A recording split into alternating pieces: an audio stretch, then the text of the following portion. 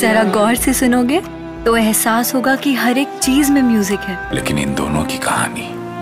उसी दिन खत्म हो गई जिस दिन ये मिले थे क्योंकि बिछड़ना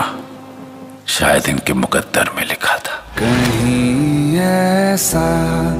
ना हो जाए मरे हुए लोग वापस नहीं आते दीदार मैं मर जा